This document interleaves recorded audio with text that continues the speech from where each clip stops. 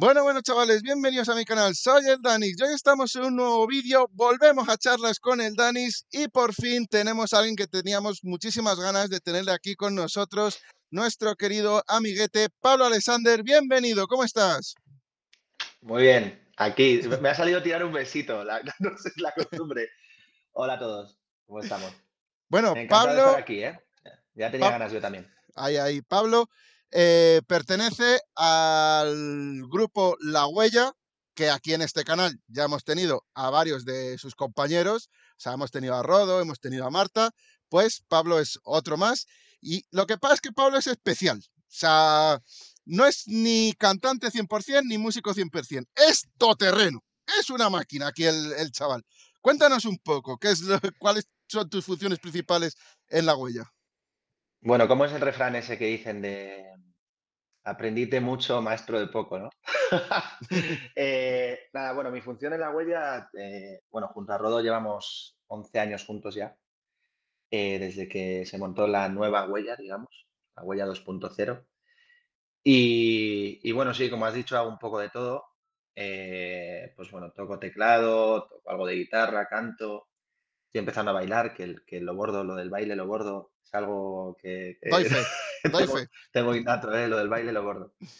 Y, y nada, bueno, luego pues, pues junto a Rodo, pues, pues digamos que le echo una mano a... Cada uno tenemos nuestra función, pero bueno, digamos que organizo, eh, porque lo de dirigir queda como muy grande, organizo la parte musical. Entonces, Rodo pide, yo transformo lo que me pide, lo paso al resto y, y bueno, ese es un poco muy, muy, muy, pero que muy resumido, ese es el proceso. Entonces, bueno, en invierno la, la- la labor principal es esa, eh, de organización de repertorio, de, de, bueno, pues elaborar los, los mixes o popurrís, como queramos llamarlo, lazarlos, eh, pasarlos al resto y, y bueno, y, y sacar mis partes, que también, también lleva, lleva mucho rato, claro. O sea que eso sería básicamente.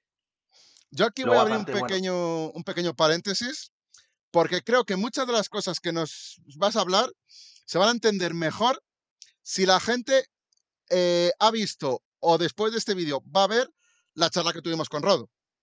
Porque Rodo sí. habló súper bien de ti. O sea, creo que la huella ahora mismo, eh, lo bien que funciona, todo lo, lo- lo engrasado, todo lo que, lo que nos dais al público, etcétera, etcétera, no sería posible sin el binomio que formáis Rodi, Rodi y tú, sobre todo en la sala de máquinas, en la parte que no se ve, sin desmerecer al resto de compañeros, pero creo que es importante y además se notaba con el cariño y, con, y también con la confianza que hablaba Rodo de ti. Sí, al final son muchos años juntos y bueno, lo que pasa que es verdad que, que bueno, que esa labor es importante porque es nuestra labor, pero que la labor de todos es, es imprescindible. O sea, porque para poder llevar a cabo mm, todo lo que hacemos mm, no sería posible si los músicos que tenemos, si los cantantes que tenemos, o sea, por mucho que imaginemos en la cabeza, eh, cuando te imaginas algo y quieres llevarlo a cabo, eh, hay veces que sale, hay veces que no sale. Eh, con estos músicos sale, pero, pero no es tan fácil. Entonces, por eso digo que al final mucho de lo que imaginamos o mucho de lo que pensamos que puede funcionar es imprescindible que el resto de componentes eh, sean capaces de llevarlo a cabo. Y la verdad que mm, entre todos creo que formamos un, un equipazo. Entonces por eso te digo que trabajar con la gente con la que, con la que estamos es mucho más fácil. Además, muchas, muchas veces aportan también sus ideas, su punto de vista.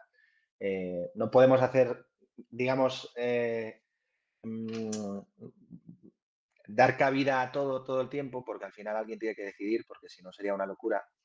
Pero bueno, que al final mm, en la huella hay una parte un poquito de todos, todos tenemos que ver. Y con Rodo, pues bueno, ¿qué te voy a cantar? Es que son, son 11 años juntos, no sé ni cómo nos aguantamos ya. Más le vale hablar bien de mí y yo bien de él. Eh, con Rodo, joder, hostia. eh, eh, con Rodo te puedo decir que he aprendido a ser artista, te diría. Sea, es lo que resume todo. Y, he aprendido muchísimo y sigo aprendiendo muchísimo cada día. O sea que, o sea que la verdad que, bueno, encantado de, del, del papel que jugamos juntos. Es importante también que es, es- para mí es, es fundamental que estemos de acuerdo en casi todo. No siempre estamos de acuerdo en todo, porque es imposible, pero, pero para mí es importante que, joder, pues que, lo que me pide, para poder hacerlo con cierto, con cierto gusto, para mí es imprescindible que, esté de acuerdo con lo que me va pidiendo. Eh, porque no sería lo mismo si me viniera con, con algo que vamos a hacer esto, esto y esto. Y ahora me toca montar algo en lo que bah, a lo mejor no lo veo y eso se me haría muy cuesta arriba. Entonces, eso es fundamental también, que al final tenemos un concepto bastante parecido. Como te digo, no al 100% porque es imposible estar de acuerdo en todo, pero, pero tenemos un concepto muy parecido de lo que queremos. O sea que eso es fundamental. Claro, es que siempre es complicado que dos mentes tan creativas trabajen juntas y, y- además eh, coordinadas, porque muchas veces existen los egos de los artistas, que, que muchas veces surgen sin darnos cuenta, ¿no? O sea, yo lo puedo, mm, lo he vivido desde el punto de vista eh, más plástico, ¿no? De, de cuando trabajas con compañeros, siempre, eh, por muy claras que tú tengas tus ideas, también está esa parte de ceder, esa parte de ponerte en el lugar del otro. Y, creo que si lleváis tanto tiempo trabajando juntos, siendo los dos tan creativos, por algo sería. Sí, esto, mira, como dices, al final si tú trabajas conjuntamente en una obra, sea del tipo que sea, eh, con alguien, eh, lo primero, que haya dos puntos de vista está muy bien, porque creo que le aporta riqueza a lo que estás haciendo. Entonces, bueno, como, como tú decías, no sé, muchas veces es cuestión de, de un color. A lo mejor a ti te gusta más un rojo para esto que estás haciendo y a tu compañero le gusta más el azul. Y tú tienes tus motivos para que te guste el rojo y tu compañero tiene sus motivos para que le guste el azul. Y para que en ese momento determinado haya algo que, mm, que, bueno, pues que sea así. Lo importante, como tú dices, es muchas veces ceder, entender los motivos del otro. Yo qué sé, pues a mí a lo mejor hay veces que hay un ritmo de una canción que yo le digo a Rodo, eh, vale, vamos, eh, así está, es- esto es. Y él me dice, hostia, no, esto va a toda hostia, lo has puesto a toda hostia. Y yo digo, joder, pero es que así la gente se viene más arriba, pero no sé qué, tal. Y a lo mejor él me dice, eh, mm, ya, pero es que esto tenemos que bailarlo y tiene que quedar una coreo bien hecha y tiene que haber una serie de cosas que, que tengan sentido, que tal. Entonces, bueno, con, con ese detalle, como con otros 80.000, al final, bueno, además el que tiene la última palabra es él, o sea que tampoco luego hay, hay mucha discusión, pero, pero no, pero lo importante es que todo tenga un motivo. O sea, y el, y el hecho es que nada sucede al azar y, y no hay nada que esté hecho porque sí. Entonces, es importante lo que, lo que hablamos, que, es, eh, que, que incluso aunque muchas veces tengas otro punto de vista, que entiendas los motivos del otro para, para hacer las cosas de una determinada forma. Aunque ya te digo, como casi siempre, casi al, al 100% o al 90%, eh, todo lo que vamos dibujando es como, oh, qué guay, mira, y esto, pues así, muy bien, pues, pues tal. Y, bueno, yo le paso cosas que, que me dice, no, esto tienes que cambiarlo, que se te ha ido la olla. Y efectivamente, pues se me ha ido la olla. Y, y yo también a él trato de decirle a veces, hostia, pues esto vamos a dar una vuelta, porque tal. Entonces, bueno, durante 11 años así, si llevamos 11 años es por algo. O sea que Claro, no, no es fácil, 11, 11 años en este sector con alguien es, es complicado, ¿eh? sí, sí, desde Pero, pero luego. bueno, muy bien. La verdad que encantados. Y lo, y lo parte positiva también es que al llevar tanto tiempo trabajando juntos, eh, podéis pedir el uno del otro cosas que vosotros mismos no seríais capaces de imaginaros, pero sabéis del otro que es capaz de conseguirlo. O sea, no sé si en tu caso eh, ha habido cosas que te haya pedido Rodo que nunca hubieras imaginado poder hacer y has hecho. Sí, sí, sí, sí, claro que sí. Eh, en- entre otras cosas, bailar. Eh, pero bueno, bailar, o sea, Rodo me ha corregido 80.000 cosas. porque es lo que te digo, al final tiene más experiencia, son 10 años más que yo. Y sobre todo que, que, pues, bueno, eh, yo también llevo toda la vida en esto, pero, pero él también. Y es lo que te digo, es un artistazo. Entonces, el tener a alguien que, que, se preocupa de decirte, hostia, no, es, esto, mira, eh, de repente eh, a lo mejor estás así en esta posición en el escenario y, joder, ponte recto, no voces, no tal. hay un montón de cosas que me ha ido corrigiendo con el tiempo eh, y que me ha ido enseñando, que me ha ido sugiriendo.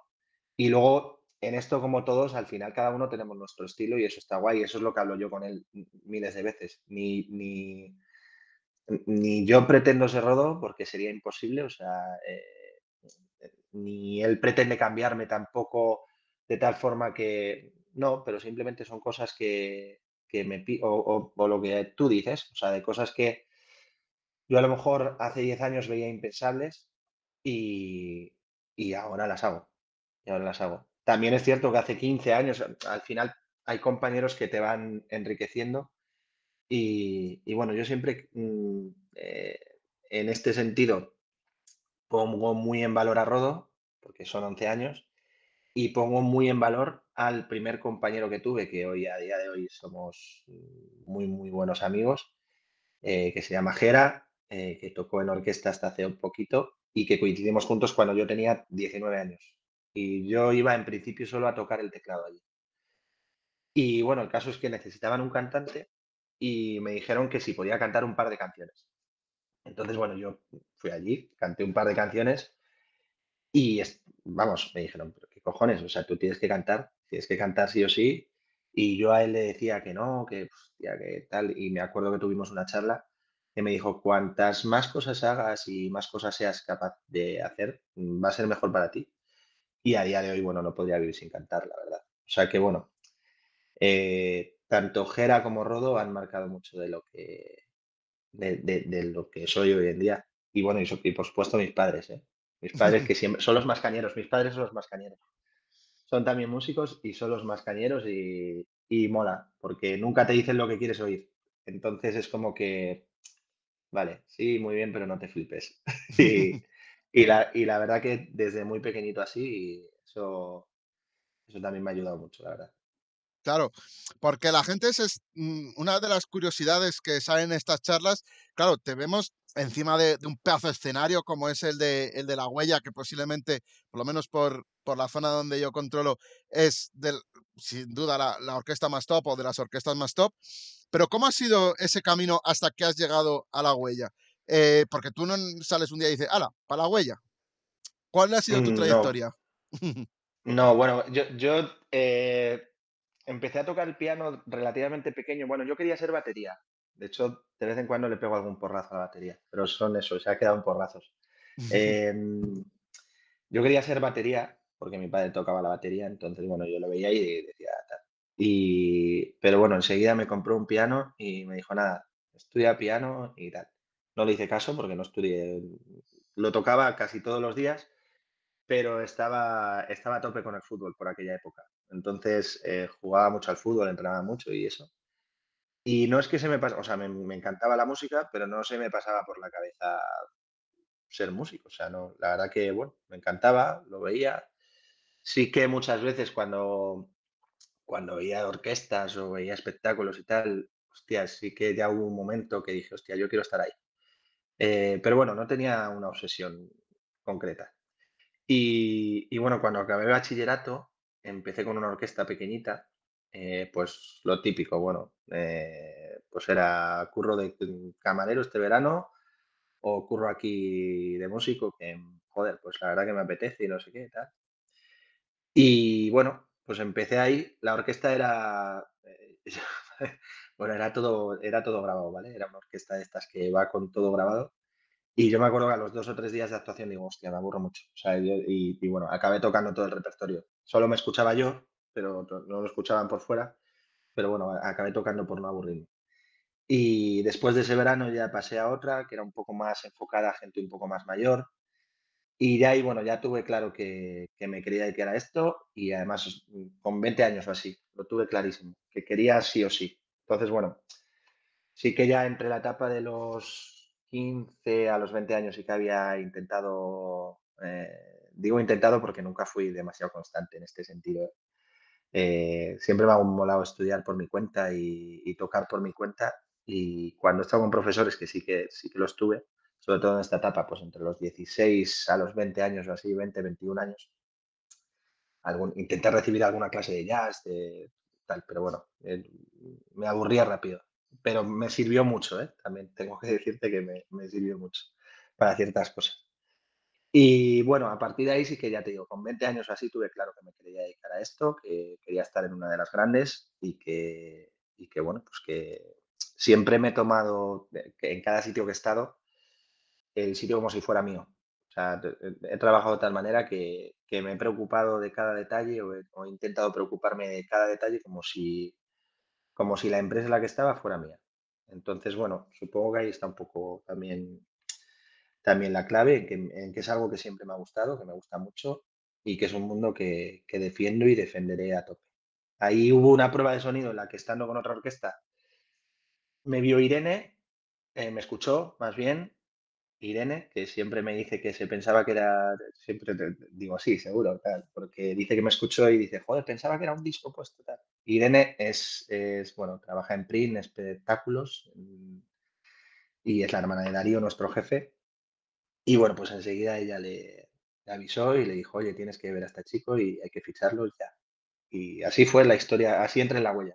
También, como te digo, muy resumido, pero, pero bueno, así entré con 23 años tenía, creo. O sea, supo ver el, potencial que tenías, que posiblemente en esa orquesta, aunque te, o sea, trabajabas bien y demás, estabas como un poco, mm, entre comillas, desaprovechado, y dijeron, este enseguida le vamos a, convertir en un, en un top como yo creo personalmente que eres. O sea, yo creo que mm, por lo que también me han comentado compañeros tuyos de otras orquestas y demás, todo el mundo te tiene en alto valor y estarían encantados de que, de que cayeras en cualquier, en cualquier orquesta. Así que, que eso es algo que habla muy bien de todos los componentes en general de, de la huella, que ahora mismo la huella, o sea, eh, tú has dicho antes que eres futbolero, pues es un poco pues como, como el Madrid, el Barça y tal, que están los mejores. O sea, y, lo digo sin, sin esconderme de, de, nada. O sea, y, y, compañeros vuestros de otras orquestas lo saben. O sea, si no eres el mejor, no estás en la huella. No estás en la huella. A ver, yo al final sí, sí que te digo que en el proceso de cuando cambiamos músicos o, o tal, eh, al final, bueno, eh, todas las orquestas tratan de tener eh, a los mejores o tratan de tener a la gente lo mejor posible. Y, bueno, nosotros sí que intentamos ser muy meticulosos en, la selección de las personas que entran. Eh, te digo, me incluyo, pero bueno, que al final la decisión, la decisión es de la empresa y es ahí donde iba ahora. Eh, también eh, si, si, conseguimos tener, digamos, esta gente pues en cada puesto, que como te decía, o sea, yo no sé, tocar al lado de Murgi, o sea, lo tengo al lado tocando todas las noches, es como Luis Da, Mike, o sea, Mickey, o sea, que estás, no sé, estás tocando, estás disfrutando. Es, es como lo que te decía antes, cuando quieres llevar a cabo cualquier cosa, es muy fácil. De hecho, yo siempre les digo que, porque, como te decía antes, yo, bueno, no es que dirija, organizo el, la parte musical. O sea, eh, digo organizo porque es que al final tocar con estas bestias es como pero ¿qué os voy a contar yo? O sea, si ya está, si es que lo vais a, o sea, lo vais a hacer mejor que yo. O sea, esto no, esto va a ser así, pero, pero es lo que te digo, que es muy fácil trabajar con ellos. Y al final, si conseguimos tener esa gente, es muy importante mm, la empresa que tenemos detrás. O sea, eh, Euroconciertos, que bueno, eh, ya te habrán hablado de ella y, y te hemos hablado todos un poco. Al final, se trabaja con muy buenas condiciones, muy cómodos, es una empresa muy seria. O sea, se trabaja en una empresa muy seria que quiere gente seria, que quiere gente buena y que, y que bueno, pues para tener a esa gente evidentemente hay que tenerla bien tratada y bien pagada y, y así es mucho más fácil, porque al final es lo que te digo, todos, todos intentamos rodearnos de, de los mejores, pero si no tienes una empresa detrás que, que respalde todo eso y que, y que la gente diga, hostia, vale, que voy para allá a gusto. voy, voy de buena gana, las condiciones son buenas, el ambiente es bueno y, así es mucho más fácil, claro. así es, vamos, es imprescindible. Claro. Em, no sé si vamos a hacer también una pequeña coma, un pequeño paréntesis, porque al hilo de lo que estabas comentando, eh, he recordado que esta semana justo ha salido un polémico artículo en, prensa, encima en un, en un periódico de, mi entorno, en el cual eh, hablaban de que eh, las orquestas pues estaban como sufriendo en general un poco la, caída, que, eran eh, cada vez más caras de llevar a los pueblos, que eso posiblemente sí que sea cierto, pero yo lo que, lo que observo, por lo menos de las orquestas que yo me, rodeo, es que sigue habiendo tortas por, por, llevaros a los pueblos. Y una de ellas, sin duda alguna, es la huella. O sea, la huella en Segovia es una religión. Incluso de, hace bastante tiempo, em, eh, como, como marca la huella, ha tocado en, en, un montón de pueblos de Segovia, varias veces en la capital, en barrios. O sea, ¿Qué tiene la huella para que, pues eso, todo el mundo quiera tenerla en la fiesta de su pueblo? Vale, vamos primero con el artículo o con lo de la huella, como quieras. Con lo que quieras. dices lo del, con lo que, quieras. artículo. bueno, mira, sobre la huella, em, sobre la huella te, diré, bueno, lo más importante de todo esto es que al final creo que, todos, eh, porque sí que pues bueno, pues yo qué te voy a contar de la huella. Te voy a contar de la huella que nos lo curramos mucho, que le damos mucho, mucho valor a lo que quiere el público, que somos súper meticulosos con el repertorio, que intentamos cambiar muchas cosas de un año para otro, que intentamos sorprender de alguna manera, que eso tiene sus riesgos, porque eh, cuando tú intentas sorprender y que una actuación no tenga, eh, que, no sea plana, digamos, eh, pues hay un tipo de público al que de repente haces algo y a lo mejor dice, uff, pero ¿qué hacen? Y otro tipo de público al que sabemos que le va a flipar. Entonces, pues bueno, pues te voy a contar todo eso, que somos muy meticulosos, que intentamos cuidarlo todo al mínimo detalle, tanto musicalmente como vocalmente, como las coreos que son... Eh, yo bailo cuatro cosas y cuando salgo a bailar eh, alucino con el ritmo que tiene esta gente. O sea, es, muy difícil eh, bailar y cantar así, a ese ritmo durante tres horas y media. Y bueno, pues todo eso se hace para que el público disfrute, que vea algo diferente y que, que tal. Pero bueno, a lo que iba, yo te voy a contar esto y seguramente venga alguien de otra orquesta y te va a decir algo parecido, porque al final todos tratamos de hacer algo, algo que llame la atención, que, que, pues, pues, eso, que sea un poco diferente, que, la gente se quede un poco con, con eso, pero bueno, eh, yo te lo resumiría en el secreto, creo que es mm, atender mucho a lo que quiere el público, entender el cambio generacional que ha habido en la verbena y la energía. Eh, nosotros tratamos de que la gente, la gente esté de fiesta, o sea, que la gente lo pase bien, que no haya un hueco para que se aburran y que, y que como nos dicen a veces que no me he podido ir a mear porque tenía una canción que me gustaba y otra y otra y tal.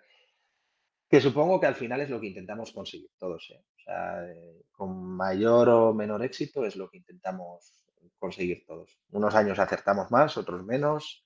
Unas orquestas acertamos o aciertan más, otros menos, pero, pero bueno, es lo que buscamos todos. Pero sí que, bueno, si al final lo sumas todo lo que hablábamos antes de, mm, tener componentes que creo que, joder, que, pues, pues bueno, estos músicos, estos cantantes, eh, que, es, que son impresionantes, pues, pues al final todo se resume en eso y en otra cosa que yo creo que para mí eh, la, dirección eh, o, la forma de vender de, de Rodo de vender el espectáculo es fundamental. O sea, es la seña de identidad de, esto. Y, y, es eso, ese tono de voz, ese, ese grito, ese, esa forma de hacer las cosas, esa energía, es la que hace que el público, no sé, el público responda. De momento sigue respondiendo. Veremos a ver si no se cansan de nosotros, que, hoy esperemos que no. Pero, ¿Cuántas fechas hicisteis la temporada pasada? Así a grosso modo no me acuerdo, cerca de 90, o no sé si pasamos las 90 o alrededor de 90. Siempre, digamos por Son una barbaridad, ¿eh? ¿Sois conscientes del número tan gigantesco de fecha que hacéis?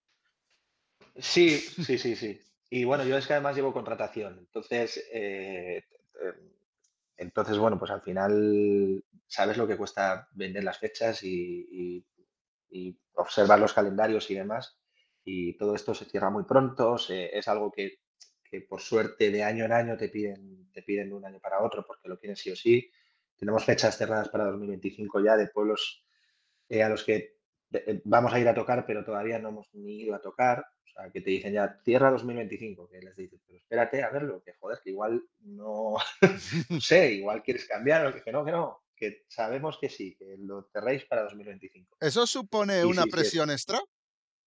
Sí, sí, sí, te mentiría si te dijera que no. Sí, sí, sí, porque además, evidentemente tenemos a la empresa muy encima, eh, nosotros mismos nos autopresionamos porque queremos que, joder, eh, de repente vemos un minuto o dos minutos en los que el público nos reacciona y nos rayamos un montón. Imagínate eso, tres horas y media. Tú que has ido a muchos conciertos, que yo sé que tú eres un buen amante de la música, a conciertos mm, top, de artistas top, suelen durar hora y media o así, más o menos.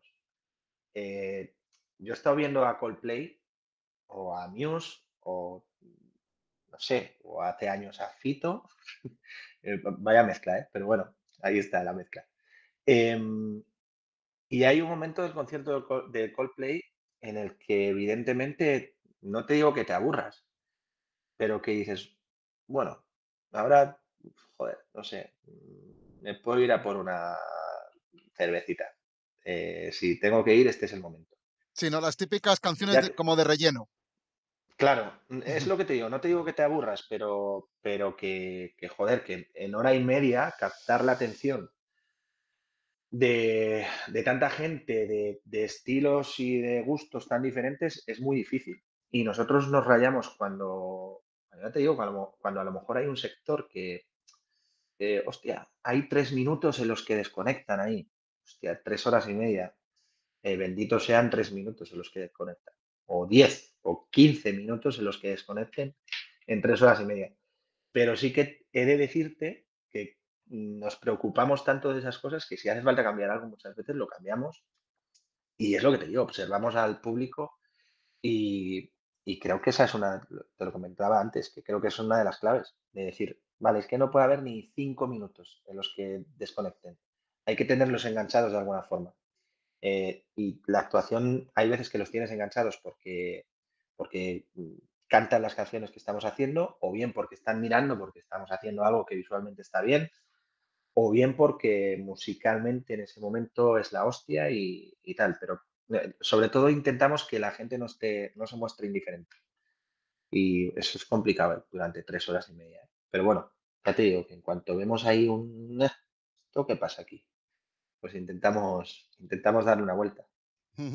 Y volviendo al, polémico artículo, ¿tú crees que la verbena está bajando ¿O cómo, cómo lo ves tú? Mira, yo te voy a decir porque he leído el artículo y algunas reacciones. Y entonces vamos a analizar el artículo. El artículo, ¿qué es lo que dice? Bueno, el titular, el titular igual es un poco, bueno, el envejecimiento de las orquestas eh, hace proliferar la aparición de las discotecas o algo así, ¿no? Es algo así. Discomóviles, sí. O de las discomóviles. Vale. ¿Eso, ¿Eso es mentira? ¿Hay más discomóviles que hace 10 años? ¿Y son más contratadas? ¿Sí o no? Sí, ¿no? Yo creo que sí. Aquí hemos traído gente también de discomóviles y DJs y demás, o sea. Claro. Eh, eso es una realidad. Es una realidad. Antes había. Eh, lo que se menciona en el artículo básicamente son, bueno, son tres ideas principales que son las que, no sé, eh, yo creo que hay gente que no, se ha parado ni a leer el artículo, también te digo. ¿eh? Eh, yo me imagino que tú lo has leído y lo has analizado y, bueno, lo primero es un poco lo que se menciona, que eso ha traído mucha cola, es que, después de la pandemia hay mucha gente del sector que ha pasado a otros sectores. con lo cual, encontrar personal para muchas orquestas se hace cada vez más difícil. Y, la realidad es que han desaparecido muchas orquestas por falta de personal. Eso es así. Eso es un dato, no es que no es que interese decirlo ni que eso es un dato, es, un dato objetivo. y que cada vez será más así, porque es verdad que cada vez hay menos gente joven eh, que no sé por qué, porque la verdad que, pero bueno, eh, no, se, no se dedica a esto, eh, pues cada vez va a ser más complicado y quien te niegue eso dentro del sector está mintiendo. O está ciego o está mintiendo. Entonces, como las fiestas siguen siendo las mismas, em, pues evidentemente ahora hay muchas más discotecas móviles que antes. Eh, y en muchos pueblos, incluso, incluso, bueno, pues, pues hay, hay fiestas en las que solo hay una disco móvil y a lo mejor no hay orquesta. Dicho, esto, esto estamos de acuerdo hasta aquí, ¿no? O sea, esto Sí, sí, no eso es un, un, un es una mapeo, ¿no? Eso es. Claro, eso es una realidad del sector tal y como está. Em, dicho esto, eh, escucho hablar a, a- a gente de, de mi sector, el sector, mm, bueno, del sector de las orquestas, vamos a decir, pero el sector es muy amplio. Dentro de las fiestas son necesarias las charangas, eh, los juegos infantiles, los, eh, las, las discotecas, las, las bandas tributo, los conciertos, todo. Y escucho hablar a cierta gente de las discotecas móviles con un desprecio que no me gusta nada. Yo, yo no tengo ni idea de pinchar, nunca he pinchado, pero reconozco el mérito que tiene. Son cosas muy diferentes a tocar un instrumento, pero, pero, pero es que tienen tanto derecho como nosotros a ganarse la vida y a ganarse la vida dentro de, este sector. Eh, y es que además tienen público, o sea, y el público manda.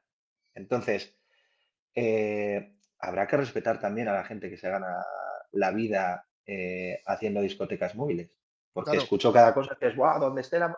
Vale, Y que un DJ no es algo de tenemos, 2024, que llevan existiendo toda la vida claro, también. llevan existiendo toda la vida y no está reñida una cosa con la otra. O sea, yo puedo escuchar una banda en directo y luego irme a una discoteca y pasar lo que te cagas. Y, y, y- y es que todo tiene su mercado y el mercado es compatible para todos. O sea, eh, entonces sí que tengo que decir que ciertas opiniones que, que he escuchado, que he leído, es como que, joder, pues ¿por qué te tienes que meter con las discotecas móviles? Que tienen su derecho a trabajar igual que nosotros. Entonces, si en un pueblo deciden contratar una discoteca en vez de una orquesta, por algo será. Bien por precio, bien por demanda del público o por lo que sea. Eh, y luego que hay DJs buenísimos, DJs malísimos, cantantes buenísimos y cantantes malísimos. O sea, aquí hay Es que esa, eso es Eh, una verdad como un templo. Es que esto es para todos. O sea, Sí, sí, sí. es como, no sé, es la Pero típico de no sé si estarás de acuerdo conmigo en que cuando para defender lo tuyo tienes que atacar a otro, algo no estás haciendo bien. Ah, Eso es, eso es. Yo creo que es ahí donde nos equivocamos. El artículo lanza tres ideas principales. Una es la que hemos hablado, eh, que es el tema de, de que han proliferado las discotecas móviles y es una realidad y que han proliferado porque hay menos orquestas y cada vez es más difícil encontrar eh, personal cualificado. Por otro lado, en el artículo también se menciona que las orquestas siguen siendo un éxito y que se siguen contratando y que, y que las orquestas son súper demandadas. Y es que es lo que hablamos, no está reñido una cosa con la otra. O sea, yo no entiendo el, el revuelo que ha causado y el debate que se ha generado de repente con la buena música, la mala, digamos, que si el reggaetón, que si no sé qué, que si tal. Em, yo creo que todo es compatible, que cada uno hace lo mejor que puede para trabajar y llegar al máximo número de público y que a mí no me gusta cuando nos metemos con, pues, pues con gente que se gana la vida y que tiene su derecho a ganarse la vida eh, haciendo discotecas móviles o ejerciendo de DJs o lo que sea. Además que me parece una tarea súper complicada, ¿eh? Eh, de hecho, cuando vas a una discoteca normalmente vas por la música. Ya no te... Es, es verdad que es otro ámbito, es otra cosa. Pero, Y también bueno, puedes dejar de ir por la música también. Exacto. Y la labor del DJ, joder, es, hostia, tener a todo el mundo. Es como nosotros. eh, Lo que pasa es que nosotros al final tenemos que tener un show cerrado, porque cuando tocas en directo tienes que tener un show cerrado y no puedes permitirte ciertas cosas. Pero un DJ tiene que estar atento al tipo de público que tiene, a cómo reacciona la gente, a vender la película, en definitiva, a lo mismo que nosotros, que es hacer que la gente se divierta en la fiesta de un pueblo, que es a lo que va la gente a las fiestas de los pueblos. Y a partir de ahí ha surgido un debate de, de la música de calidad, si es que la música de ahora, porque tal, porque cual. eh, yo creo que si las orquestas siguen siendo un éxito, en parte es porque nos hemos adaptado a los gustos del público, como se ha hecho toda la vida. O sea, y el que no quiera verlo, También está, yo creo que yo esto creo que daría daría lugar a a debates más profundos, que tienen más que ver también con el tipo de ocio que consumimos, con los niveles de exigencia que le damos al entretenimiento, porque claro, vivimos en una época que tenemos millones de opciones de entretenimiento al alcance de un clip. O sea, Es, entonces, es. claro, cuando mm, queremos música en directo, queremos un nivel, por así decirlo, que, que- que esté muy rozando la excelencia. Por lo que mm, gente que igual eh, o se conformaba o estaban más acomodados o, o no lo daban todo en una puesta en escena en directo, son los que quizás pueden sufrir más el propio desapego del público, y, independientemente del sector en el, que, en el que estén. O sea, y es que eso le van a pasar a cualquier persona que se ponga delante de un público. O sea, si tú no mantienes el nivel, si tú llegas a un, a un modo de, de conformismo, de, acomo- de estar acomodado, y, y cada vez la gente te va a pedir más, te va a pedir más, te va a pedir más, te va a pedir más, y tú no se lo das, es lógico y normal que la gente te dé lado. Sí, yo, a ver, yo no, no voy a, y además no quiero hacerlo y nunca lo he hecho y no quiero hacerlo ahora, no voy a tirar piedras en- encima de nadie, porque además siempre he defendido que, que lo más importante dentro de, de este sector y creo que de cualquiera es que tú ofrezcas un, digamos, un espectáculo en función de lo que están pagando por ti, que sea justo lo que están pagando por ti y lo que ofreces. Es decir, mm, está claro que no le puedes exigir lo mismo a una orquesta que te está costando 20.000 euros la noche eh, que a una orquesta que te cuesta esa misma noche 5.000, porque no le puedes exigir lo mismo.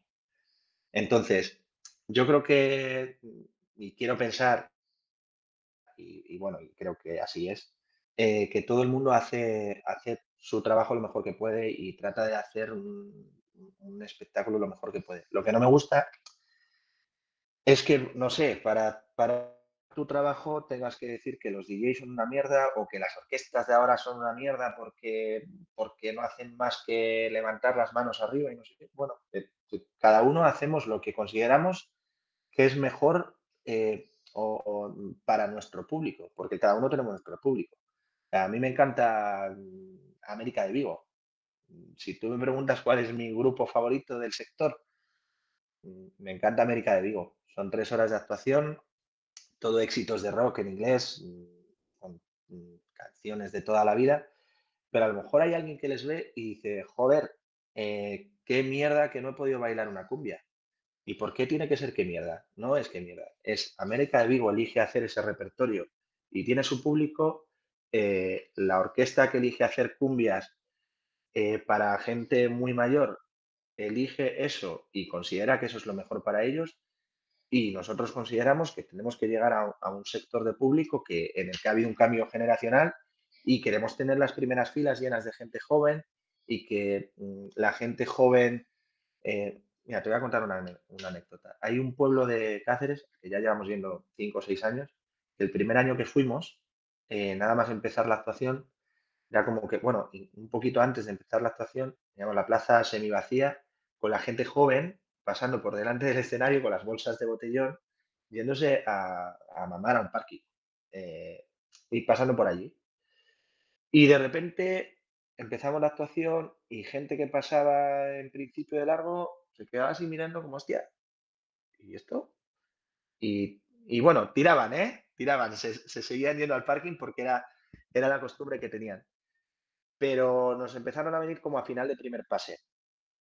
Y me acuerdo que Rodo dijo, el año que viene os queremos aquí desde primera hora, porque tenemos música para vosotros. O sea, esto está enfocado hacia vosotros y hacia todos los públicos, que, que no tienes por qué desechar a nadie.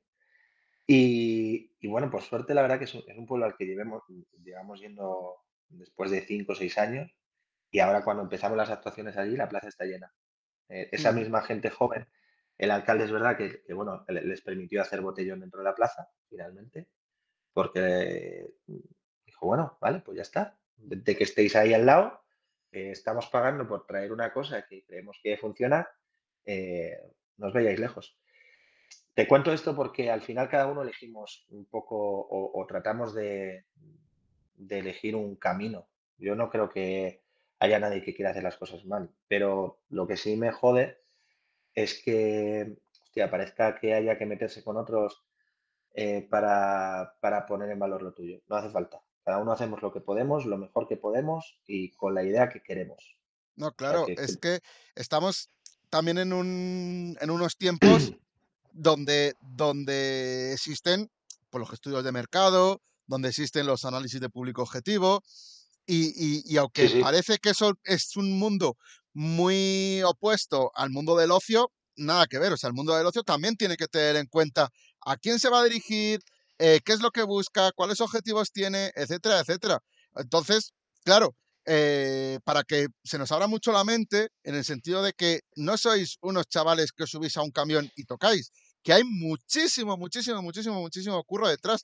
Entre ello, entender hacia quién os dirigís. sí, sí, sí. Eso es fundamental. Y luego que, mm, no sé lo que te iba a decir, se me ha ido la pelota. Eh, eh, luego que, bueno, que, como dices, los análisis de mercado y, demás, eh, por ejemplo, lo de hacer canciones que duren tan poco tiempo tiene su explicación. eh, tiene su explicación. Y es que hoy día, por desgracia, creo que por desgracia, eh, todos tenemos un móvil de la mano y vas a TikTok, Instagram, a YouTube, a donde sea, y tú cuando, es lo que decías antes, tú cuando quieres escuchar una canción o ver un vídeo, muchas veces hacemos que nos vamos directamente a la parte que nos interesa del vídeo ya, o sea, ni siquiera vemos el vídeo entero o escuchamos la canción entera o nada, o sea, nos vamos directamente al lugar al que queremos llegar. Em, ¿Qué ocurre ahora? Pues que las mentes las tenemos preparadas para, para- para que- mm, lanzar estímulos constantes o si no, la gente se aburre. Un poco la explicación de los popurrís es esa. Hay gente que dice, joder, es que, hostia, cuando mm, estoy a tope con esta canción y ya me cambiáis a otra. Pero la mayoría de la gente es como, joder, qué guay, que, hostia, es que no da tiempo a aburrirse. Pues yo entiendo que habrá gente que diga, hostia, me gustaría escuchar una canción tres minutos entera. Pero nosotros hemos elegido otro camino. Y es el camino de intentar que la gente reciba estímulos constantes, que es básicamente adaptarse al, al, al mercado o, al- o a las cabecitas como las tenemos ahora, todos. Bueno, y ahora si te parece, eh, vamos a hacer también un, un mini descanso para cambiar un poco de, de tercio. Eh, no te lo he contado antes, es- va a sonar un poco a, a encerrona, pero ha llegado la, la hora del juego de las 10 preguntas rápidas. Hostia. Para Venga, que, te. Para que te conozcamos un poco más, la gente también te conozca. Eh, mira, ya se ha ido. Ah, no, has vuelto. Digo, te, ha- No, no, no, estoy ahí. Que, vale, ha que miedo. están. Son, Vale. tre- son 13 Sigo ahí, preguntas. ¿no? Sí, sí, sí. Son 13 preguntas. eh, 10 muy rápidas y 3 un poquito traviesas. Yo te aviso. Claro, Espero hay que, que las contestes con, con la mayor sinceridad posible. Y bueno, si no quieres contestar alguna, pues no pasa absolutamente nada. Como son sobre ti, todo lo que contestes, bien contestado estará. ¿Estás preparado? venga, sin pensar, ¿no? Sin Intento pens- pensar lo menos posible. eso es. Vale. Primera pregunta. ¿Qué sueles desayunar? Eh, me dado por desayunar sano ahora últimamente y de vez en cuando me hago tostadas de como de jamón con huevos revueltos. Eh, pero normalmente no desayuno nada, sinceramente. ¿Comida favorita? Uf. Eh, hostia. La paella. No, no sé si es la paella. ¿eh? Las croquetas de mi abuela, ¿qué cojones? Croquetas de mi abuela. Ahí, ahí, ahí. ¿Bebida favorita? Coca-Cola cero. Recomienda un cantante, Famoso de la verbena. lo que quieras. eh, bueno, eh, Matt Bellamy de Muse. eh, me flipa. es mi puto ídolo. Y dentro de la verbena, por salirnos un poco de, de, de Castilla, Bruno Pla, de América de Vigo. Último libro que has leído.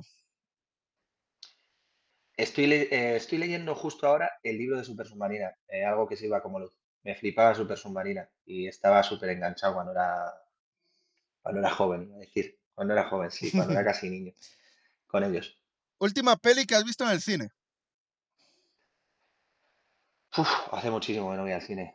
Eh, y mira que me gusta, ¿eh? El Joker, ¿puede ser? Igual el Joker. Joker, pues ya ha llovido del Joker, ¿eh? Joder, que ha llovido. Sí, sí, hace mucho que no voy al cine. Eh, una manía. Una manía. Eh, ah, ah, ah. Soy bastante ordenado. Eh, más, más que manía. Bueno, te- te- tengo el armario con las camisetas por, por colores eh, y mi casa suele estar muy ordenada. Cos- cosa de la cual normalmente se sorprende. O sea, no sé, la gente, eh, o cuando me ven la maleta en el camerino y tal, se eh, al principio la gente que no me conoce se sorprende. Pero bueno, sí, ¿y esto? ¿Qué orden ahí? Total. Sí, soy un poco maniático del orden. Color favorito.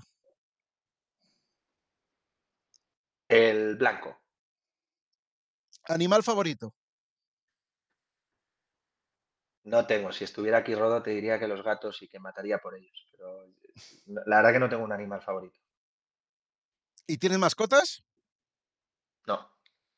No me gustan las mascotas en casa. Y los animales en general. eh, queda muy bien lo de lo "Ah, me encantan los perros, tal", pero no, no, la verdad que no. No te voy a No, queda totalmente sincero. Hay gente que le gusta y gente que no. Sí, sí. Eh, pues hasta aquí las 10 preguntas y ahora vamos con las tres traviesas. Eh, primera pregunta. ¿A mí se me conquista con?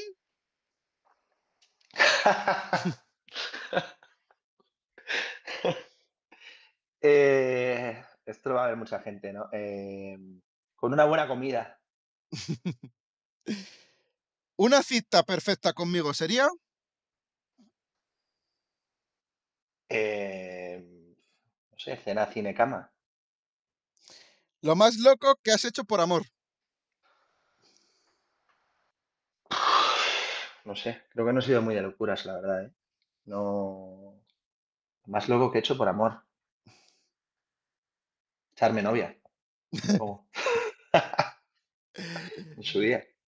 Nada, hay que, hay que hacer locuras. Y no eres el primero que dice, ay, yo no he hecho nada por amor, no sé qué. Tarea para la próxima charla, haber hecho algo loco. ya bien sea en el amor, Vale. en la amistad, en donde sea. Pero hay que hacer de vez en cuando locuras. Sí, hombre, algunas seguro que hemos hecho. Eh, pero bueno, hay que. Igual no se pueden contar. Sí, más o menos se pueden contar casi todas, pero, pero no sé, no sé. eh, Una en concreto no, no sabría decirte. A lo mejor soy un romántico empedernido, imagínate. No sé. ¿Te consideras romántico? No, la verdad es que no. O sea, más canalla que romántico. Supongo, no sé. Eh, sí, supongo. Supongo.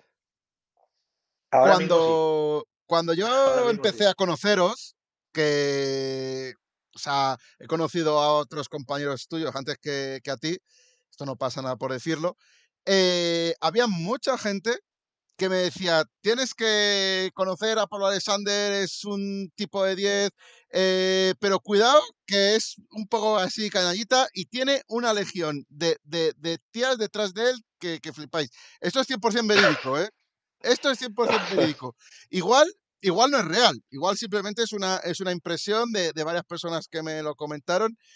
Eh, ¿Tú eres consciente de que tienes un poco esa, esa fama o ese aura? No, no, bueno, no sé, no sé, hombre, ¿O, o fue si cachondeo? Igual me estaban vacilando.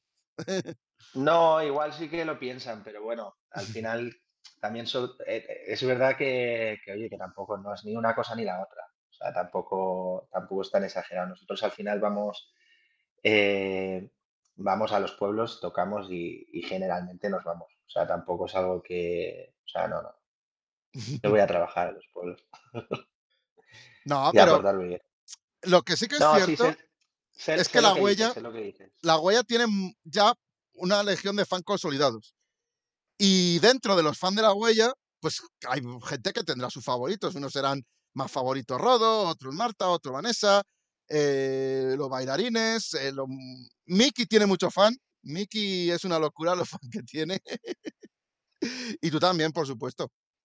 Tú casi de los Sí, que sí, más, sí, ¿eh? que yo, yo no me quejo, o sea, no, no, al final, pero bueno, que no, no es, no es ni siquiera considerar los fans. Al final es gente que, que digamos que le da sentido a lo que hacemos. O sea, gente que, que, bueno, hay mucha gente que no se acerca jamás y que, y que no pasa nada y que sabemos que ha disfrutado de la actuación y luego tenemos gente que, que repite mucho, que viene a vernos, que, que se divierte con lo que hacemos y que digamos que nos lo hace llegar de alguna forma. O sea, ya sea porque, bueno, pues porque le has gustado tú o porque le ha gustado la orquesta o porque le ha gustado todo.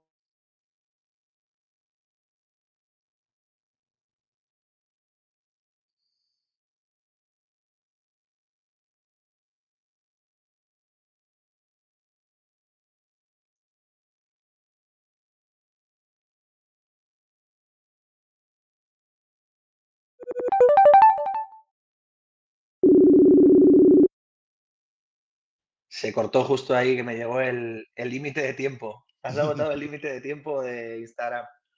Le tengo puesto un límite para enterarme. Eh, ¿me escuchas bien? Sí, sí. Seguimos ahí, ¿no? Vale, nada, bueno, que te decía que al final lo que más se valora es, es que la gente, sea por una cosa u otra, se, se acerque y te haga saber que, que tu trabajo le ha gustado y que y ya está. Y luego lo, lo de ligar, pues bueno, está bien también, pero Claro, no es lo principal. algo, algo que comentaba también con, con Marta y con Rodo es que se agradece un montón cuando después de cuatro horacas de concierto, eh, que evidentemente lo, lo dais todo y, y es muy, o sea, tenéis, sufrir mucho desgaste físico y mental en, en vuestras actuaciones. eh, la gente, pues mucha gente se os acerca al camión, quiere conoceros, quiere una foto, charlar, cualquier cosa y tal. Y, y todos en general eh, tenéis una super disponibilidad con todo el mundo que dices, joder, a mí me da muchas veces hasta, hasta cosa acercarme a vosotros. Digo, es que estos chavales tienen que estar reventados. Y solo quiero No, tú- saludaros, daros un abrazo y largarme.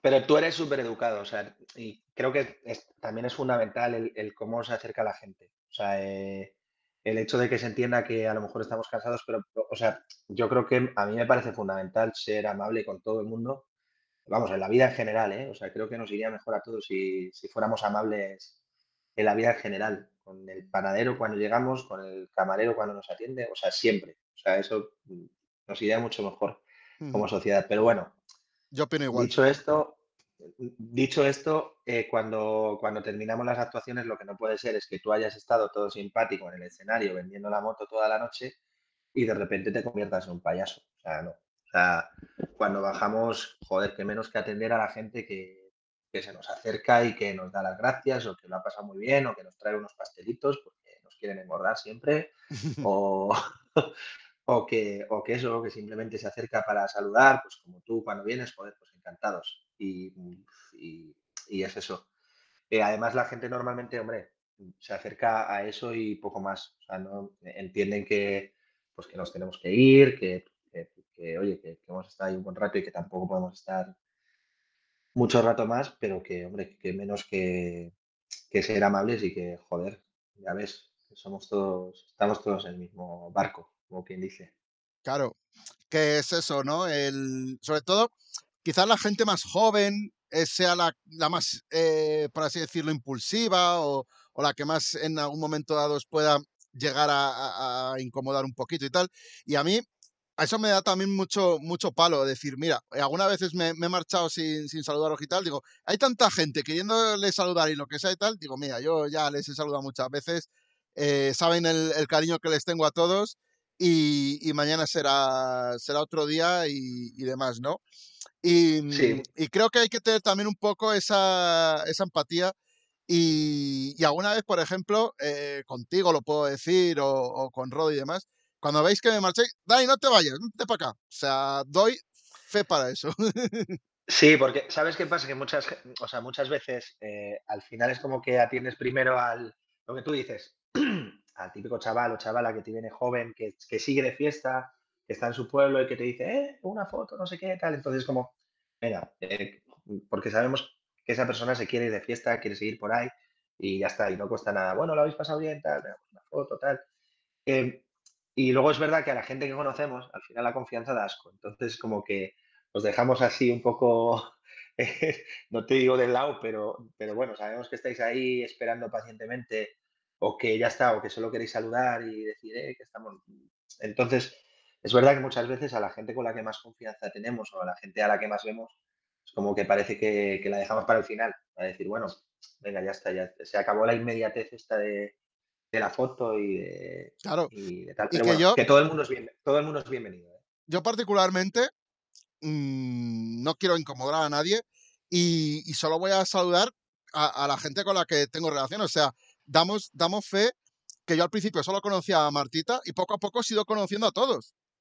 Entonces, eh, yo... O nosotros a ti, ¿eh? Puede ser, puede ser. pues, yo si no tengo confianza con alguien no voy a tocar a narices. Aunque luego no pase nada y tal, pero yo también soy, tengo esa parte de, timidez y sobre todo de respeto. Decir, oye, no vamos a forzar el, conocernos ni nada. Y lo que siempre digo es que estoy encantado con vosotros porque el ir conociéndoos poco a poco y, demás ha sido tan orgánico y tan natural que es que solo tengo palabras positivas para vosotros. Y lo sabéis. Yo lo sé, lo sé, lo sé, lo sé, me consta y, bueno, nosotros para ti. Y además, bueno, sí que creo que es una, otra de las claves del grupo es la relación que tenemos entre nosotros. Porque, joder, o sea, la verdad que llega el descanso, nos vamos todos juntos a tomar algo. Em, las chicas son increíbles, o sea, Marta, Vane, Nuria ahora se llevan súper bien. O sea, em, es, no sé, estamos todos como un poco en la misma dirección, en el mismo rollo, que es muy importante tener el mismo rollo también, porque eh, yo que sé, al final cuanto más compartes fuera del escenario, mm, más química tienes dentro, de, dentro del mismo. O sea, entonces, yo que sé, creo que es importante ese, ese rollo, ese, esa, no sé, esa energía que, tenemos entre todos. Y pues, hombre, pues supongo que de alguna forma u otra se lo haremos llegar a la gente también. Nos estás hablando del buen rollo que hay dentro de, del grupo que formáis. ¿Cuántas personas sois en el equipo? En total 17, creo.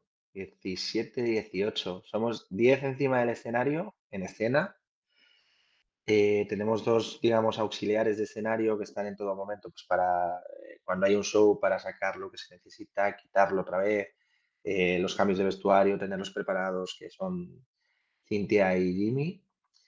Y, y luego, bueno, abajo tenemos tres técnicos que luego también ejercen labores de, de montaje, lo que te digo, los auxiliares de escenario y, y dos de los técnicos ejercen labores de montaje de chofer, el chofer del camión, ya no sé ni por cuántos voy.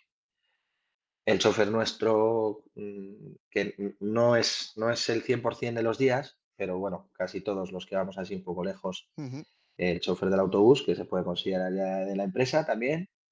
Eh, y no sé si me estoy dejando a alguien, sí, 16, 17 personas, 18, más la gente de la oficina. Y con todos los que sois, eh, y además eh, se nota que sois una gran familia y que eh, os lleváis todos genial.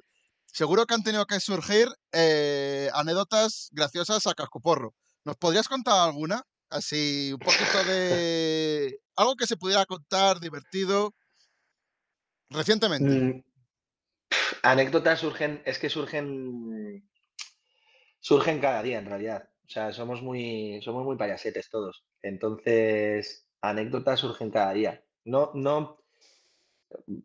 ¿No tenéis alguna así como, como súper legendaria que digáis, pues este día pasó esto?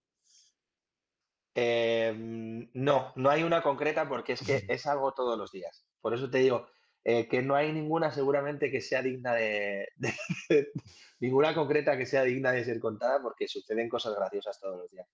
O sea, eh, ya te digo, a mí me encanta el rato en el que estamos, eh, no sé, esa, parada en los viajes. No es una anécdota, ¿eh? pero es, pero es bueno, e- ese momento en el que estamos viajando, paramos en una gasolinera o en un restaurante, lo que sea, entramos todos allí en tromba que dicen, madre mía, estos, estos de dónde salieron todos. Y esos ratos que compartimos me, me mola mucho y ahí siempre surge algo gracioso. Siempre hay alguien que, que, que no sé, que, que suelta alguna o que... Pero una anécdota como tal, no te, ahora no te sabría decir. Las hay, ¿eh? Pero no te sabría decir una. Y sobre todo no- que, que- no se aburra la gente, que, que, que esto igual te cuento una cosa pensándome que es súper graciosa y no, no hay, no hay ninguna concreta que te sepa decir. ¿Algún sitio donde hayáis tocado y que eh, em, has pensado, joder, qué sitio más guapo? O sea, nunca me hubiera imaginado poder tocar aquí. Sí, sí, sí, eso por ejemplo sí, eso sí. Hay un montón de, bueno, un montón de sitios. La verdad que eh, tenemos mucha suerte. eh, a todos los sitios que, no- que, vamos nos recibe casi siempre mucha gente. em, son fiestas que están muy guapas, que, que al final la gente está muy a favor de que eso es importante. Eso es, import- es- eso es verdad que, que, bueno, que supongo que te lo vas ganando también de alguna forma y que la gente va predispuesta a pasarlo bien contigo, pero, pero bueno, que, que no es fácil que eso sea así. Y la verdad que tenemos fiestas muy guapas. A mí, m- mi favorita tengo que reconocer que mm, por muchas cosas es Santa Marta de Tormes. Está aquí al lado de Salamanca y bueno, conozco a medio pueblo, eh, nos tratan con mogollón de cariño, como si estuviéramos en casa, y luego que es un fiestón. O sea, es un fiestón mm, top, o sea, top con 8.000 personas allí en la plaza, eh, lo que te digo, o sea, gente súper predispuesta desde, desde la primera a la última canción. Y bueno, es lo que te digo, también me unen muchas cosas de allí, conozco a mucha gente por allí. Y cuando, lo que te digo, ya cuando era más joven y, yo iba a esas fiestas y veía esa fiesta y estaba abajo como público y, veía las orquestas que iban y decía, joder, esto es la hostia. Y ahí sí que empezaba a decir, hostia, yo quiero estar algún día ahí. Llevamos 10 a- cerca de 10 años en esa fiesta. Y joder, siempre han confiado en nosotros, ha sido de mis fiestas top. Hay gente que está en esa fiesta que es de otros pueblos, pero que va a vernos allí. O sea, se, se reúnen muchas cosas para que, para que esa fiesta mole. Pero bueno, muchas, muchas otras, ¿eh? O sea, hay muchas otras que, por suerte, ya te digo, casi, casi todas las fiestas que tenemos son, son, son muy top. Y luego todas son especiales por una cosa u otra. O sea, Yo, con tu bueno. permiso, voy a tirarte otra, porque también por la parte que me toca, fiestas de Segovia, las fiestas grandes de San Juan y San Pedro, sois ya eh, una, or- una orquesta eh, fija. O sea, me acuerdo de, de hace un par de años, estaba yo ahí abajo, cayéndola del pulpo, nadie se movía, eh, os mojabais y, y- y era en plan, que es que cualquier momento van a salir estos electrocutados por todos lados. Nadie se movía, caía una- un aguacero impresionante.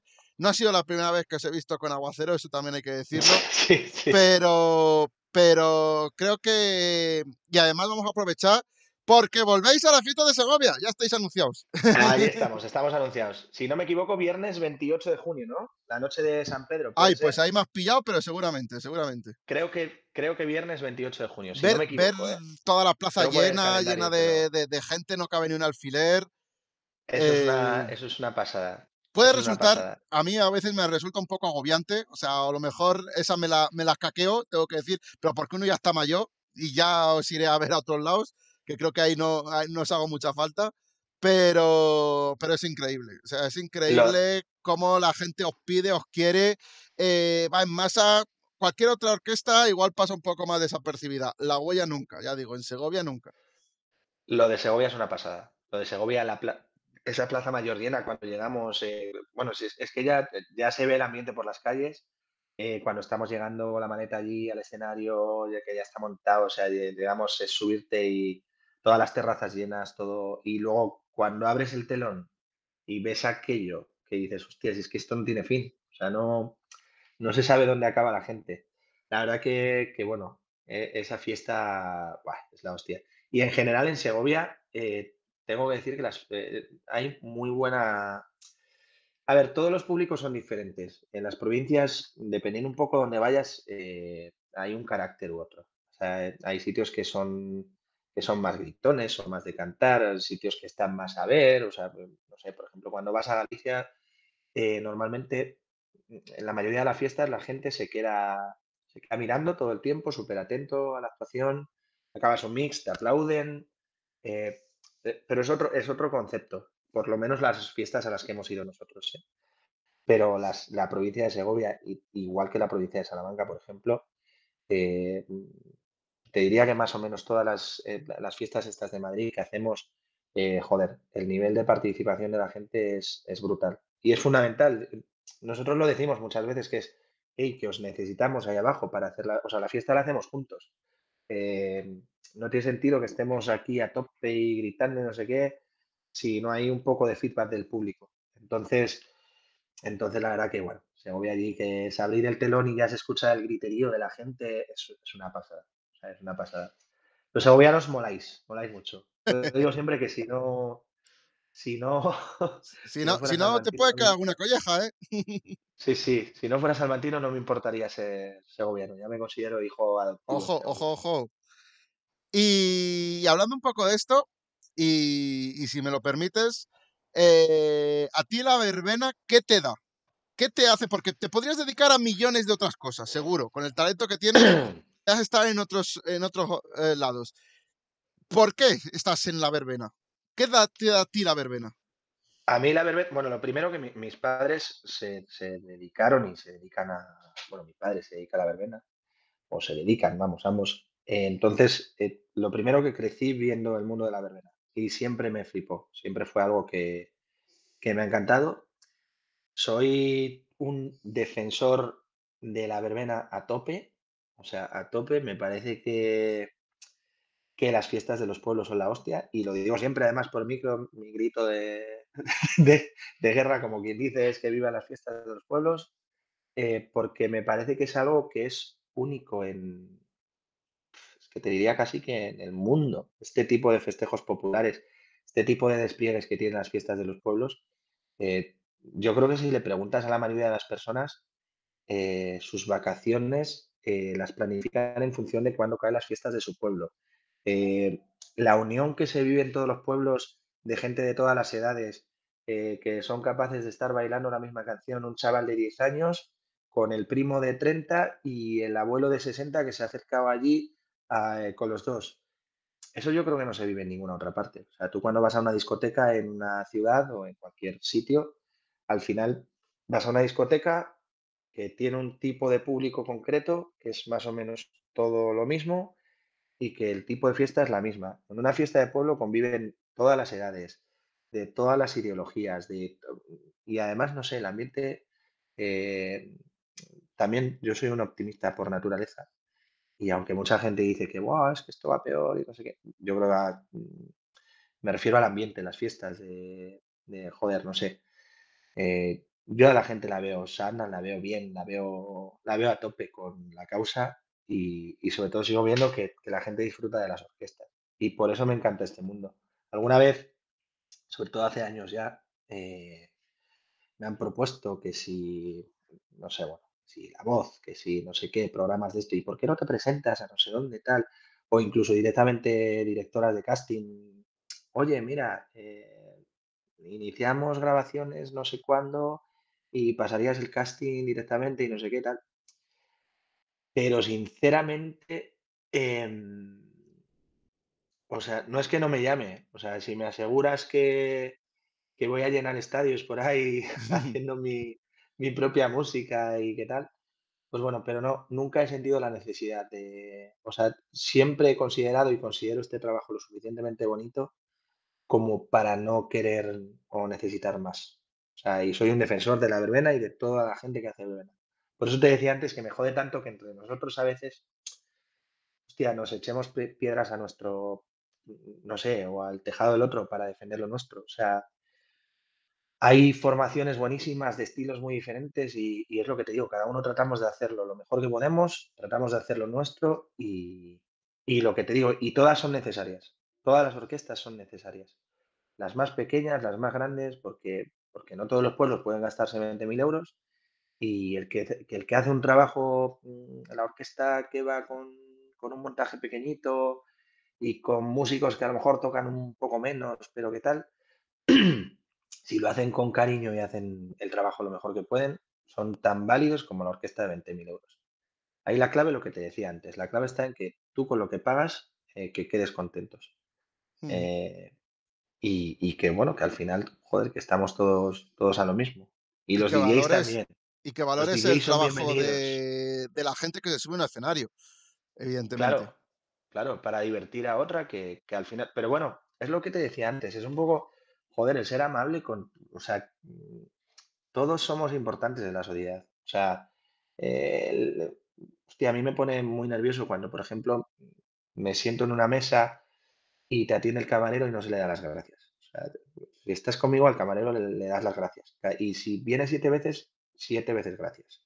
Y si tienes que pedir algo, lo pides por favor. Porque está trabajando, pero, joder, no sé. O sea, que es que, eh, que todos somos necesarios y, la gente que se sube a un escenario pues, para hacer divertir, para hacer que otra se divierta, pues lo que te digo, me merece todo el respeto del mundo, lo haga mejor, peor, me guste más, me guste menos el estilo. Por eso te, decía antes. ¿Sabes cuál es mi percepción? Que es que nos estamos como mm, desocializando, es decir, el, nuestro individualismo nos, nos lleva a que cuando vemos las cosas malas, enseguida vayamos a por ellas y las critiquemos y, si nos ha, como dices tú, el camarero nos ha dado un mal servicio, le machaquemos porque es su obligación no darte un buen servicio, no sé qué. Pero cuando lo hace bien, qué poquito damos las gracias, qué poquito le decimos, oye, qué bien me has atendido, qué rico estaba la comida, que lo mismo, o sea, no cuesta nada y lo mismo le has alegrado el día por un comentario bonito. Y cuesta tan eh poco hacer felices un poco a los demás, porque además también nos gustaría que nos lo hicieran con nosotros cuando nosotros hacemos nuestro trabajo, que evidentemente es nuestro trabajo, nuestra obligación, y, nos pagan por ello y ya está. Pero no se hace igual hacerlo por, por hacerlo que hacerlo porque sabes que la otra persona valora lo que tú haces. sí, Es que nos iría mucho mejor a todos. A todos, es que estoy seguro, es que hasta, eh, no sé, hasta cuando vas a correos y, y no sé, y te, y mm, igual te atienden súper secos, pero porque a lo mejor están acostumbrados a que, a que la gente a ellos también les trata súper secos. Yo qué sé, o sea, que no cuesta nada ser simpáticos, iniciar una conversación simpática con alguien.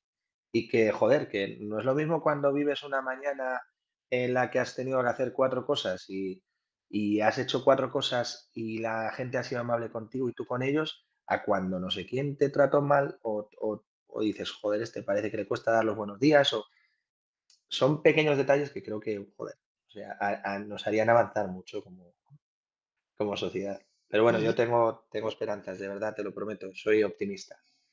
Me dicen que demasiado a veces, pero bueno, es, lo que toca. ¿Y la música? ¿Qué parte de tu vida forma la música? Es imprescindible. Iba a decir fundamental, imprescindible. Sí que es cierto que tengo, tengo vida más allá de la música, me gusta mucho la fiesta en general, eh, soy muy fiestero, muy, me gusta mucho estar con mis amigos, me gusta hacer otras cosas que no tienen nada que ver con la música, eh, pero no sé, o sea, sin música no sé si podría vivir. O sea, la música me gusta mucho, me gusta mucho. También te gusta que te, que te he guilado yo mucho viajar. O sea, eres una persona, creo que, que mm, te gusta también eh, conocer otras culturas, otras personas, otras ideas. Eres un poquito inquieto, ¿no? En ese sentido. Es que creo que viajar te abre mucho la mente. Viajar te ayuda muchísimo a abrir la mente, a, pues, pues eso, a conocer otras realidades y bueno, y a pasarlo muy bien. ¿Qué cojones? A pasarlo súper bien. Y pues por suerte en mi grupo de amigos, desde hace ya mucho tiempo, procuramos hacer un viajecito todos los años, así que que vayamos todos juntos y que, bueno, pues el último ha sido Tailandia, el anterior estuvimos Turquía, eh, Canarias, eh, Polonia, en no sé, hemos estado en muchos sitios y, y, no sé, la verdad que, bueno, sí, me gusta mucho viajar, por salir un poco de, la burbuja esta y, y, bueno, pues, pues bien, es algo que me gusta. Y una preguntilla que se me ha escapado antes, ¿te ves dentro de muchos años subido a un escenario? ¿A cuánto llevamos muchos años? No sé, 65, la edad de jubilación. A 65 no sé, mira, lo decía Javi, Javi de Picante, eh, lo del artículo otra vez, de vuelta al artículo, em, que, que, un, pues eso, como que no, no queda bien que un cantante de 60 años estuviera ahí, eh, o, que era más complicado que defienda ciertos temas. Y tiene toda la razón. O sea, al final eh, hay cosas que, hombre, no sé. Pero no tengo prisa por retirarme. Si te sirve la respuesta, no tengo prisa. Y es algo que me gusta hacer. De momento tengo muchas ganas. Creo que me queda muchísimo por hacer. Creo que me queda muchísimo por vivir encima de un escenario. Y sobre todo que es algo que me sigue gustando. Sí que he dicho siempre que en el momento que me deje de gustar, mm, si es que llega, me va a costar mucho retirarme. Pero bueno, mi abuelo mm, se retiró con 80 años tocaba y se retiró con 80 años. bueno, no es que se retirara, es que ya no quedaba, es que ya no mantenía el equilibrio. O sea, ya era imposible, ya no podía más. Entonces, eh, entonces, hombre, eh, me viene un poco ahí de, familia. Yo soy feliz haciendo lo que hago. Y mm, nos considero a los que nos dedicamos a esto eh, muy afortunados, la verdad. Que a lo mejor no en el formato verbena, pero seguro que, van a estar toda la vida relacionado con la música. Tocando, tocando seguro. Sí, sí, sí, sí. Además que sí, sí. Eso seguro. O sea, eso hago acústicos de vez en cuando, que los, hago por, diversión, porque los disfruto mogollón. Eh, y, bueno, es algo, es un formato que me gusta también. ¿Tienes, ¿Tienes miedo a las IAS? Que algunos dicen, no, es que van a sustituir a los músicos, no sé qué, no sé cuánto. No, no, no, no. Y no tengo miedo al progreso en general. O sea, em, no, yo no, no creo que las consumiera. O sea, no, no creo que, o sea, prefiero escuchar una canción de una persona que de una inteligencia artificial. Eh, porque creo que, bueno, que hay cosas que, hombre, no sé, eh, a día de hoy hay hay robots eh, capaces de, mm, de tocar una guitarra española. Bueno, robots no sé, eh, pero bueno, a ver que no se me enfade nadie con esto, por ejemplo. Ha sido muy famoso o hay, hay mm, chinos. Había un chino que tocaba la guitarra española brutal, que era como, era un pero era un auténtico robot tocando. Es como, eh, era, joder, había estudiado tanto y se había preparado tanto eh, que, bueno, pero hay algo que tiene, hay algo que es el sentimiento del que toca, del que transmite y que, bueno, en definitiva es eso lo que transmites. Entonces, yo veo una, una inteligencia artificial, hostia, qué mal estoy quedando, estoy comparando a los chinos con la inteligencia artificial. que, no se me que, no se me enfade nadie, no, no lo he querido decir por ahí, ¿eh? o sea, quiero decir que, bueno, hay sentimientos que no se pueden transmitir o hay cosas que no se pueden transmitir si no las tienes. Y una inteligencia artificial hay ciertas cosas que no tiene y que jamás podrá aportar. Entonces, mm, oye, no sé, que los chinos sigan tocando flamenco, ¿eh? que, no se me enfade nadie, pero. Y lo sabrá que consigan transmitir la hostia. Pero bueno, igual es mejor. Mm, yo prefiero escuchar a un Paco de Lucía que también se mató a estudiar desde pequeño, o sea que bueno, no sé si... Sí, sí, pero a ver, yo creo que se está eh, generalizando demasiado con el tema de las IAS, también se está como vendiendo como que viene el coco mucho, que viene el coco, no sé qué, eh, que es posible que termine llegando, eso es una realidad, pero de momento, a día de hoy, las IAS tampoco trabajan solas. O sea, tú no le puedes decir a una IA, hazme una canción y te la hace en dos segundos. Es imposible. Hay una persona detrás que también estudia cómo funcionan las IAs, qué es lo que quiere eh, crear con la IA, del mismo modo que se hace la música electrónica. O sea, es que ahora mismo la diferencia entre un sintetizador y, una base que te pueda proporcionar una IA, a mí que venga alguien muy riguroso y me la explique, porque de momento, para mí, son herramientas que se ponen al servicio de los creadores, de los artistas, y que ya verás tú lo que haces con ellas. O sea, es como el bisturí no es malo por sí mismo.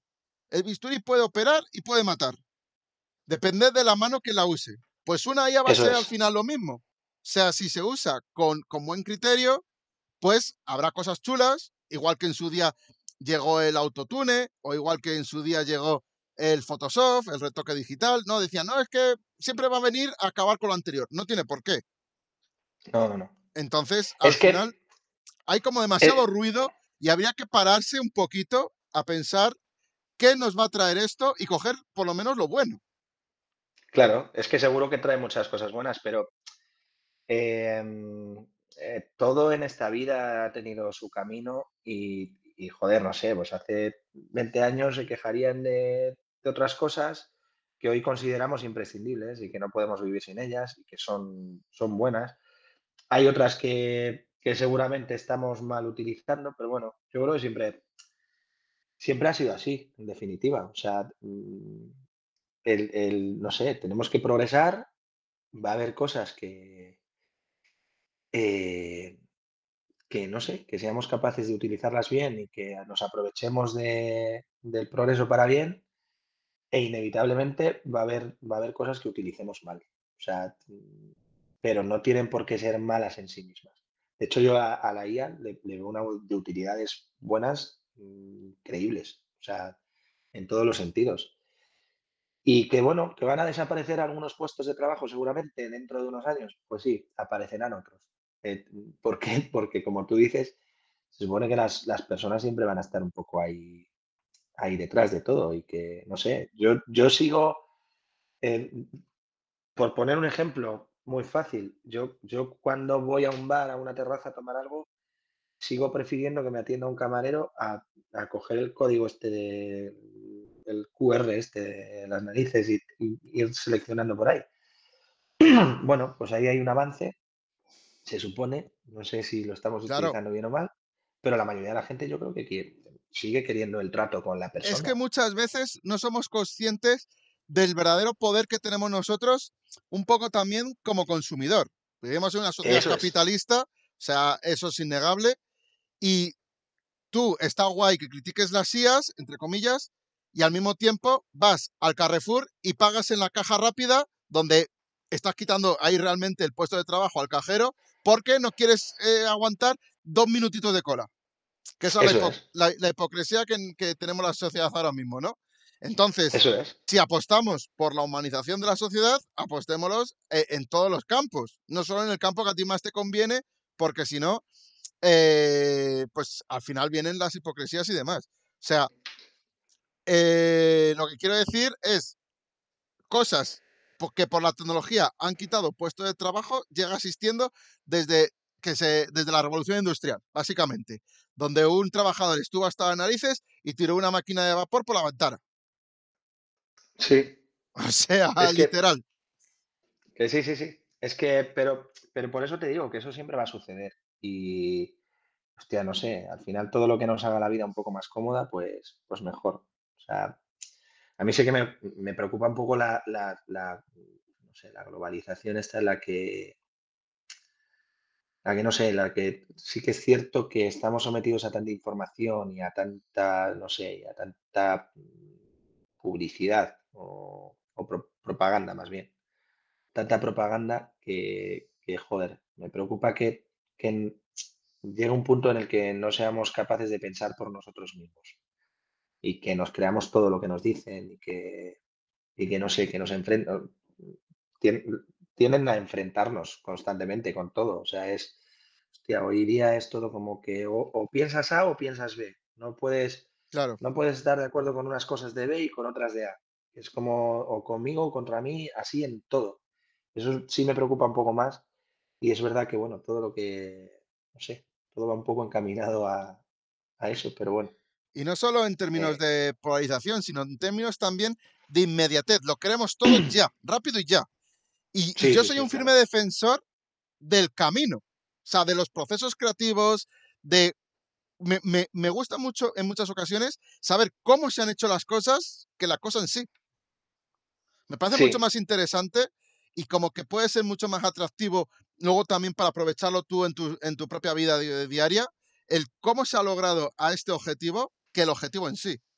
Y no sé si esto la gente se para a pensarlo y decir, oye, pues igual, aunque lo mejor el resultado sea una patata, si el, si el camino ha sido bueno, al final me he llevado más cosas positivas que negativas de todo este proceso. Sí, sí, sí. De hecho, la, a ver, al final en, la vida lo importante es el camino. Cuando consigues algo, bueno, pues ya está, ya lo conseguiste, ya está. Pero lo importante es disfrutar de, todo el proceso. O sea, todo es una filosofada, pero, pero, es así, es verdad que es así. Es como, mm, ¿por qué, ¿por qué el coyote nunca eh, se comió el caminos? Hubo un final alternativo en el cual el coyote sí se comía el correcaminos, pero el coyote sin el correcaminos ya no sabía qué más hacer. O sea, no, no, tenía que. Y, se, y, se, acabó suicidando. Entonces, es en plan, pues mira, no, no, porque la gente decía, no, que, qué desgraciado el correcaminos, que siempre se, se ríe del coyote, el coyote es muy listo, pero nunca le consigue alcanzar, no sé qué, no sé cuánto. Pero es que eso era lo divertido de esos dibujos animados. El coyote persiguiendo el correcaminos y el correcaminos vacilándole. Y en el momento que quitabas eso y ya el, correcaminos alcanzaba al, coyote, ¿ya qué sentido tenía? Es un poco así, ¿no? Nada. Eso es el, el camino, el camino, lo importante es el camino en todo. O sea que, o sea que bueno, sí, sí, disfrutemos del camino mientras podamos, vayamos a muchas fiestas y, eso, y que, y que seamos buenos todos con todos. Claro, yo por eso también soy un firme defensor de, de, la fiesta de los puros y de la verbena. O sea, aunque a vosotros os haya visto muchas veces y, vosotros en un año pues tenéis el, mismo repertorio y demás, luego al año que viene el siguiente le cambiáis y demás, pero cada fiesta es diferente, cada pueblo es diferente, conoces a gente diferente, comes, si puedes, comida rica, o sea, y eso tú en tu casa o, o en tu barrio sin salir no lo vas a tener. Por eso hay que ir a las fiestas de los pueblos, hay que ir a la verbena, de la orquesta más grande, de la orquesta más pequeña, de, los grupos de rock, de los grupos de salsa, de todo el estilo de música. Yo, vamos, porque al final la vida son dos días y, uno casi no lo pasamos durmiendo. Así que. Sí, sí, y apoyarlos a todos y, disfrutar de, pues eso, disfrutar de, todas las virtudes que tiene cada uno y ya está. O sea, que es que, es que de eso se trata y de divertirse. Bueno, Pablo, lo vamos a dejar por aquí porque tampoco quiero que se alargue mucho más el, vídeo. Espero que hayas estado a gusto, que, te haya gustado la charla que hemos tenido. Y si quieres decir algo a los chavales y a las chavalas eh, que hayan llegado hasta esta parte del vídeo, este es tu momento. Bueno, pues nada, que yo lo, primero que está muy a gusto también, me he metido con los chinos, tío. Bueno, no es que me haya metido con los chinos, me he metido con un chino que tocaba la guitarra, que ya ves tú qué culpa tendrá, que encima será un puto mm, bárbaro de la guitarra, pero bueno. Eh, nada, que, bueno, que como te dije antes, mm, soy un, gran defensor de este sector, que sigamos adelante, que tengamos un, buen verano todos, que vengáis a las fiestas de los pueblos y que lo paséis bien y que os recibiremos con, con la huella, con cariño y amor a todos. Y a ti te esperamos, ¿cuándo te vemos a ti? Ah, yo qué sé, en cuál día menos pensado. A mí me gusta sorprenderos. Bien, bien. igual, me esperáis en un pueblo y, me veis en Madrid, yo qué sé. Eso te iba a decir que yo qué sé, te puedes venir también a Pastonas, ¿eh? Sin problema, estás invitado, ya sabes. Ya lo sé, ya lo sé. Pues nada, chicos, ya sabéis, chavales, si os ha gustado este vídeo, ¿tú te sabes lo que tienen que hacer? Suscribirse, darle al like y compartir. Ahí, ahí, ahí. y nos vemos en el próximo vídeo. ¡Adiós! Muchas gracias.